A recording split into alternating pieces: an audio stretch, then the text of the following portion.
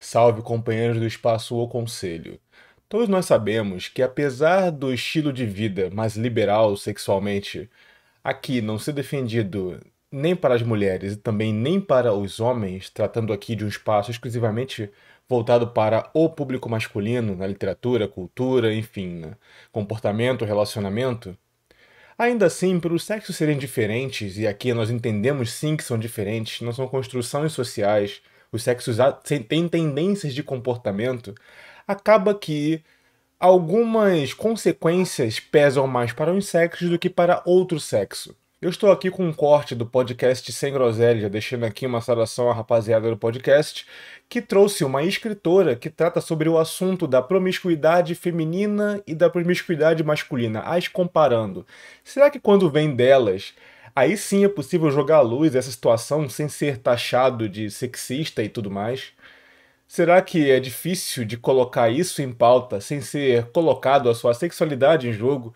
Né, a sua seu histórico sexual no jogo ou sem ser taxado de alguma coisa ou de outra, bem, vamos conversar sobre isso, vou trazer para mesa esse tipo de discussão aqui hoje e conversar ao longo dela com vocês, certo? Então, se não conhecia aqui, espaço Projeto Conselho, Ricardo Tomé falando sobre esses assuntos e tantos outros, certo? Então, vou trazer aqui para a mesa enquanto peço para vocês curtirem o vídeo e compartilharem. Se não é inscrito, inscreva-se por gentileza. Estamos chegando à marca dos 20k, então é importante ter essa meta com vocês ao meu lado, tudo bem?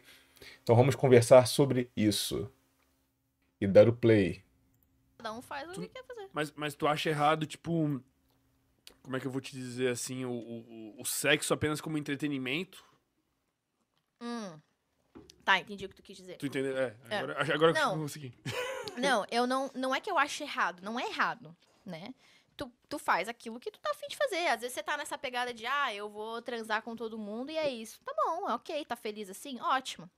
Só que quando a gente vai falar de mulher, é, eu coloco uns estudos no meu livro sobre isso, que o sexo casual não é bom pra mulher. Não é positivo pra mulher.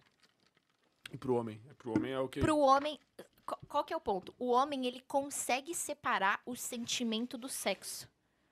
O homem, ele consegue, a mulher não consegue fazer isso.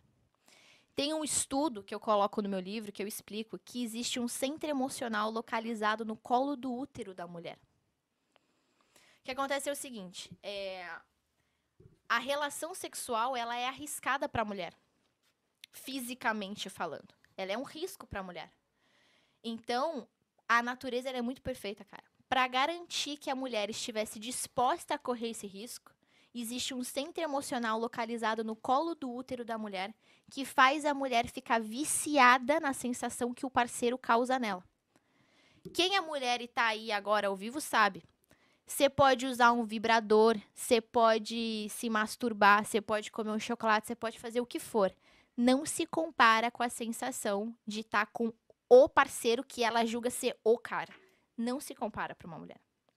Não tem comparação o prazer. Tu acha é que totalmente pro homem diferente. Esse... Ele consegue separar O melhor. homem ele consegue simplesmente ele transa e dane. O homem Nós falamos bastante disso aqui. Que a questão da natureza feminina e masculina, além de serem distintas, possuem critérios diferentes. A mulher, ela naturalmente é criteriosa na escolha do seu parceiro, não é à toa. Não é uma questão de capricho ou construção social que faz a mulher selecionar os seus parceiros. Porque se fosse uma questão de construção social, na primeira pressão social contrária da mulher ser mais aberta, mais liberal, isso aconteceria. Mas já estamos há mais de quatro décadas de movimento progressista pró-liberdade sexual da mulher. E ainda assim, as mulheres continuam cada vez mais seletivas no sentido de características masculinas que elas desejam. Inclusive, cada vez mais o corpo do homem está sexualizado também. As mulheres estão cada vez mais focando não em corpos masculinos menos desejáveis, é, ou magrelo, ou gordinho, ou menos inteligente, ou menos articulado, pelo contrário. Estão se concentrando em caras que são destacados. Né? Claro, né, de forma aberta. Abertamente não querendo homens de baixo valor, digamos assim. Ou pelo menos o que mudou é que elas agora estão com menos filtro na boca para dizer que tipo de homem querem. Mas ao mesmo tempo não querem os homens embaixo. Por quê? Porque ela é criteriosa e sabe que a gravidez, isso é, evolutivamente, claro, né? Que na gravidez dela, ela se engravidando de um homem baixo, de baixo valor, ela se compromete. Então ela entende, eu preciso me engravidar ou me relacionar com um homem forte, porque né, na ideia da biologia dos sexos, ele iria me proteger enquanto eu estou vulnerável, enfim. Né? Esse momento de resguardo, ou de gravidez, ou de vulnerabilidade biológica e tal, enfim. Tudo isso, memórias genéticas no nosso corpo. Até a ideia do orgasmo, a ideia de nós queremos fazer sexo novamente, porque nós precisamos, né, inerentemente procriar, apesar de não ser esse o mote social atualmente, enfim, né, é uma outra história, mas enfim. Então tem que vir uma mulher falar aquilo que falamos sempre. Por quê? Porque se o homem fala, é taxado de conservador, né, aqui de forma pejorativa, claro, é taxado, enfim, né, de vários nomes toscos por conta dessa crítica. O homem consegue fazer isso, a mulher não consegue. Por que, que o sexo casual não é bom para a mulher? Ela vai, transa com o cara, ok. Só que se o negócio for bom, ferrou. No dia seguinte, ela vai ficar desesperada esperando aquele cara ligar para ela. Ela vai entrar em desespero. Por quê? Porque ela fica com esse vício na sensação que o cara causou nela. Se o cara souber tocar ela da maneira certa, se o cara tiver um cheiro que atrai ela, ela fica viciada na sensação que aquele cara causou. Ela pode reproduzir aquela sensação com outro cara ou com um vibrador. Não vai ser igual. Ela fica viciada na sensação que aquele cara causou nela. E aí, como é casual, ela não tem a segurança e a garantia de que ela vai ter de novo. Adivinha o que, que acontece? Ela fica desesperada. Aí ela fica mal. Aí ela paga de. de ah, eu Você sou livre, eu vou dar para quem eu quiser. Mas à noite ela chora sozinha no travesseiro porque ela queria aquele cara que causou aquela sensação maravilhosa no, no corpo dela. Que só aquele cara fez ela sentir. A mulher, ela fica viciada na sensação que o cara causa nela sexualmente falando. Por que, que mulher. Já viu mulher que chora depois de gozar? Por quê? Porque a mulher ela é multiorgástica. Tudo na gente é mais intenso. Então a gente. Por exemplo, a penetração gera uma pressão no colo do útero. Saca? Sacou que eu falei? Gera uma pressão no colo do útero. E ali tem esse centro emocional. Tem várias terminações nervosas ali naquele colo do útero. É justamente essa ideia que a gente comenta aqui, né? Enfim, hipergamia versus poligamia, né? Do homem ser poligâmico e da mulher ser hipergâmica. Para a mulher, a quantidade não faz sentido. Tanto estruturalmente, quanto psicologicamente, quanto biologicamente. Enquanto para o homem, nesse sentido, a quantidade é o que faz com que ele consiga reproduzir o seu material genético na biologia, da sobrevivência por mais tempo. Então isso está gravado em nós. A mulher engravidar, não é possível engravidar de vários caras de uma vez só, enquanto um homem pode fecundar várias minas de uma vez só. E isso é a briga da guerra dos sexos biológica primitiva e está na nossa, na nossa memória, né? em questão de escolhas parceiras. Por isso que muitos caras não selecionam muito bem as minas que, com que, que a qual vão avançar. Porque para ele a quantidade é a prioridade, enquanto para a mulher a qualidade é melhor. É preferível estar tá com um cara que ela entende como destacado, diferente, enfim, é, único em vários sentidos e claro, né, que, a, que dê ela alguma segurança emocional e, e até previsão material em, em vários níveis aí, do que estar tá com vários caras casualmente. Então o corpo dela entende isso essas terminações, essa capacidade de ter várias sensações com o mesmo parceiro. Entendem? Enquanto para o cara, muitas vezes a ejaculação é automática. Por quê? Porque, entre aspas, pela quantidade, precisa ser. Então a sensação é muito mais automatizada ali. Mesmo sem muita vontade, o cara consegue fazer. Mas se a mulher não estiver com o cara certo, com os estímulos certos, até no ambiente ou no clima certo, né, ela não consegue. Então, esse hoax social né, da liberdade sexual feminina só prejudica, no médio e no longo prazo, as mulheres. Sexo casual prejudica o feminino no médio e no longo prazo.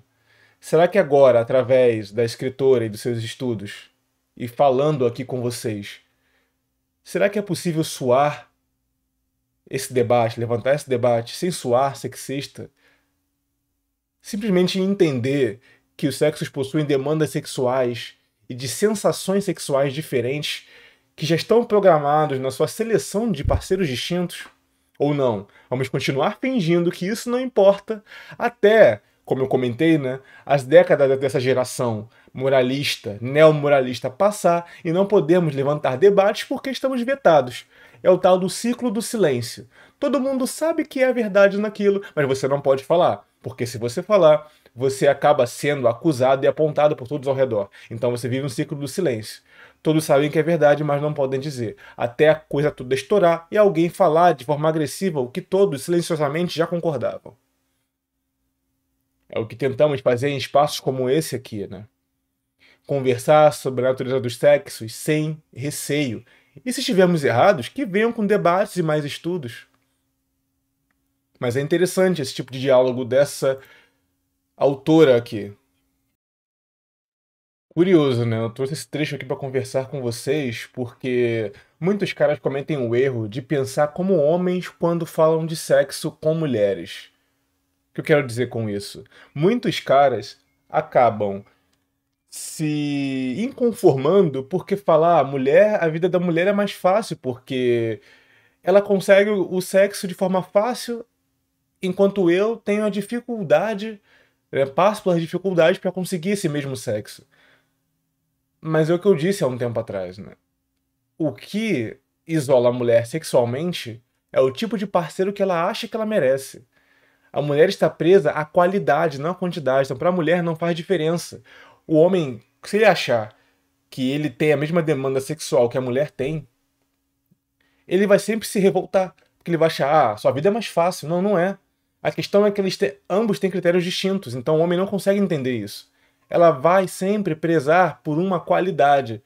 Pode ser uma qualidade construída na mente dela, ela achar que está com um cara de qualidade quando na verdade está tá aí com uma fake news social, de repente um cara causador, sem qualquer tipo de, de preparo emocional. Pode ser o cara que vai despertar essa libido nela e ela, sem pensar duas vezes, vai em cima do cara até achar, até ver que ele não é o cara que era interessante? Sim, mas ainda assim são esses mecanismos aí biológicos que ficaram engatilhados na cabeça dela e que foram despertados por aquele cara naquele momento. Enquanto o cara está sempre engatilhado para transar ou se envolver com o oposto, com o máximo de mulheres possíveis, até mesmo ignorando a estética de vez em quando. E aí? Será que o debate foi levantado finalmente? Será que podemos falar à, à, à luz do dia sobre esse tipo de assunto, sem taxações? Espero que sim, né, senhores? Bem, esse foi o vídeo de hoje. Espero que tenham gostado do debate. E aí, concordam ou discordam de mim, da autora e da rapaziada dos questionamentos que fizeram a ela do podcast né, Sem Groselha? Deixe nos comentários aí a, a conversa também, sugestões de outros assuntos referentes a esse, né? Claro, já tratei aqui sobre os vícios da pornografia e tratei um pouco sobre isso, de que há em comum históricos sexuais femininos das mulheres que optam por esse tipo de carreira, um tipo de perfil sexual que foi danificado já da sua estrutura familiar. Mas essa aí já é uma red pill para uma outra hora. Eu sou Ricardo Tomé, falando e escrevendo pelo Conselho. Até mais, senhores.